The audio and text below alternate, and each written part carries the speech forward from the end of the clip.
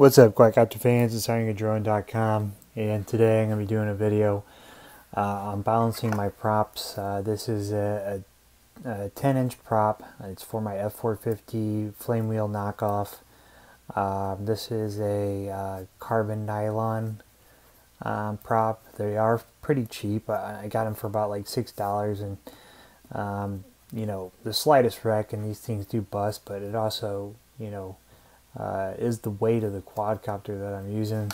Uh, it's a uh, do-it-yourself kit. It's fairly heavy, um, so you know anytime it you know lands on one of these, it just snaps them in half.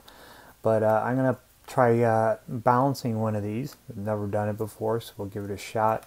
Um, I'm assuming this is probably you know not the best prop balancer uh, just because of the size, but uh, it should get the job done. Um, you know, it doesn't have much room this way or this way to go. Um, but basically how it works is that you screw these three bars in to each other. It comes with the screws here, and then it has a, a magnet in here, and uh, it's magnetized on both sides, so then that way you can just put it in there, spin the prop, and uh, see if it balances out. So we'll put this in through here, we'll put the other end on, try to center it out. I don't think you need to get this thing snug because that might prevent it from the prop from moving back and forth. But uh, we want to get it on there so it's not too loose and not too tight. So that way it'll, it'll have its free range of motion. And then we just got scotch tape there. So we're going to put it on here evenly.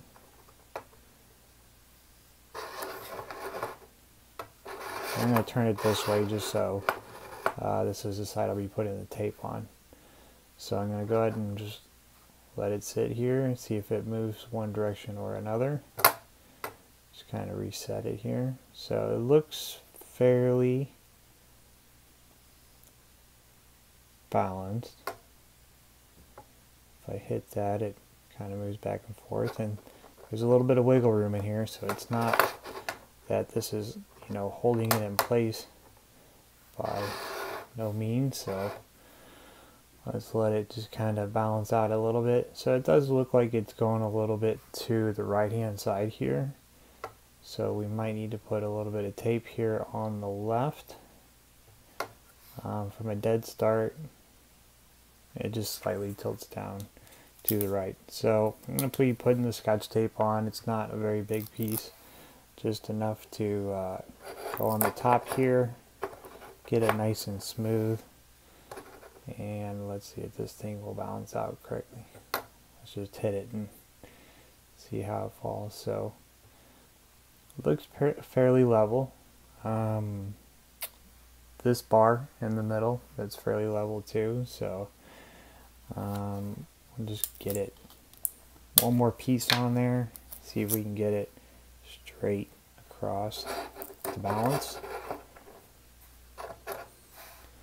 And uh, it looks like it might have been too much duct or uh, scotch tape because as you can see now it's it's going over here to the left. So to pull one layer off, go back to what we originally had on there or possibly put half the amount on there.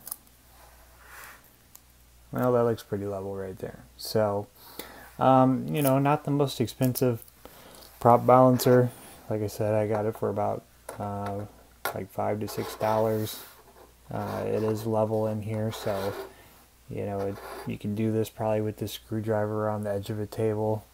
Uh, that's smooth in the inside and straight across as long as you can get it level. Um, but just make sure that you know it's not going one way or the other. And then if you do, just put a little bit of scotch tape on it, uh, like I did on this side, and now we have a balanced prop. So if this video helped you out in any way, definitely leave a uh, like. Be sure to subscribe to the channel for more upcoming videos. Uh, I'll put a link in the description of where to get uh, this prop balancer here. Very inexpensive, somewhat effective. Uh, I haven't tried any of the other ones, so I can't really give an opinion on that. Uh, but you know, stay tuned for more upcoming videos for flight reviews, unboxings, uh, as well as different flight videos.